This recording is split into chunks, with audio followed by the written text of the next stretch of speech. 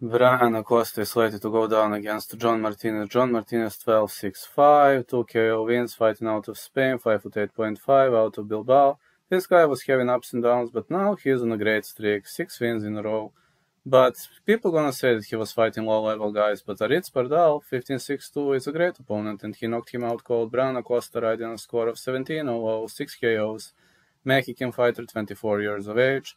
He'll be he'll be fighting He'll probably try to go for a KO. WBC Continental Americas veteran title owner. He's holding great victories over Lamberto Macias, Diego Andrade Chavez, Pablo Robles, Jesus Francisco Ortega, Jose Luis Alvarez Talamantes, Luis Ramirez Tovar.